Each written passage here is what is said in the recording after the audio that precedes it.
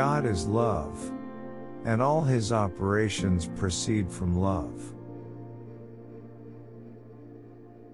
For him all things were created, and to him all things must be subject, and God loves all creature, in, and because of Christ.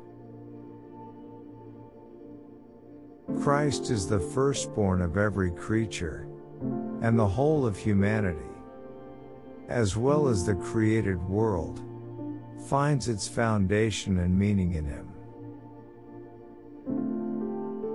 The angels in heaven were created to be servants of Christ. Man was formed from the earth in order to be the image of Christ.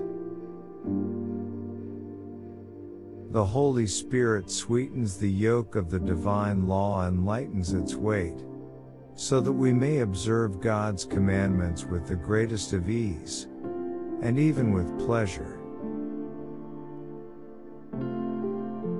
The Word of God is a light to the mind, and a fire to the will.